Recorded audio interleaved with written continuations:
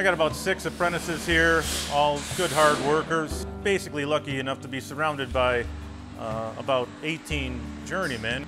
We're doing exterior framing and then uh, working on the molding and the ceiling grid here. I did installation of frames too, hollow metal frames. 20 West uh, is the project name. It's a six-story apartment complex. I actually started going to school, tried to get a degree in computers, but I realized that what was going to be the best for me was getting a trade, you know, and get a stable job. I saw how much it was going to take for me to get a school loan, have to be paid off, and how many years before I can actually start making money and learn. I had just regular jobs before this that weren't going nowhere, so I decided to join this for the great benefits, the career opportunity, and longevity. I just don't think people uh, realize that the amount of effort and skill that actually does go into the jobs that we do. It's something that more young kids should look into. And I was kind of working some, you know, part-time jobs. My mother had came across the show Built to Last.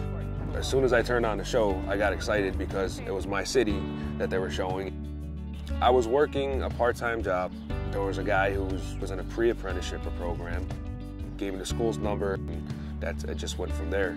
The show definitely inspired me, you know, to go after it. I was a welder for Caterpillar Tractor in the late 70s, and uh, there was a downturn in the economy, but I would hook up with uh, some guys and build houses.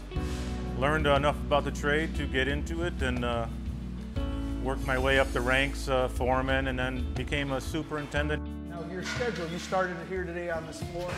I became a carpenter, and through the years, I went from carpenter to lead carpenter up to carpenter foreman. I enrolled in the carpenter's uh, training program for superintendent.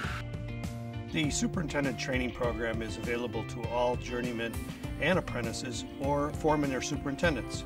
Uh, it's made by the Association of General Contractors. This is a, an entry level into becoming a foreman or superintendent how eventually I came into this role was putting a, a hands-on field experience and then applying the school aspect of it and learning uh, construction management methods and techniques and then uh, fusing that all together. I did that out in uh, Las Vegas, took advantage of that. I had a lot of great teachers, past superintendents, owners, and, and fellow carpenters alike.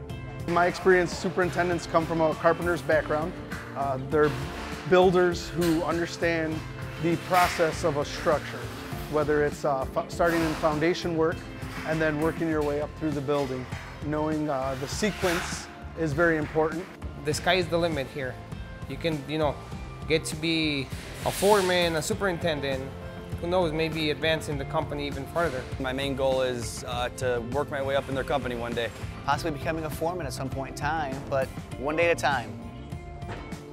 They make you feel like you belong someplace. You know, it was nice to get an applause from, from my brothers as I was sworn in. You know, it felt good, made, made me feel proud to be a local member. Around here, definitely welcoming. They're always looking for new people, new new guys to show the reins to. Um, as an immigrant, you sometimes feel probably you don't belong somewhere. Being a part of the union definitely makes me feel like I'm, you know, a part of a brotherhood. And a nice job. I like where I'm at. I like where I'm headed. I know there's still a lot more ahead of me. I feel like I'm growing every day.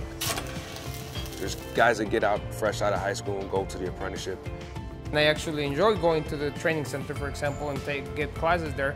17 foot something. I mean, who pays you to teach you things? You start going to the classroom, you start using your skills on the field. 11. Most important is definitely the benefits that comes along with being a union carpenter. Pension, annuity. No student debt. I know people that has been in college for several years and they are working as servers health benefits, you know, it's, it's all top of the line. Obviously the pay, it, it gets better every year, which is always great. You get to provide, you know, for your family. I just feel a lot more fortunate being a union worker. I became a carpenter because I wanted to build a better future and be part of something bigger than myself.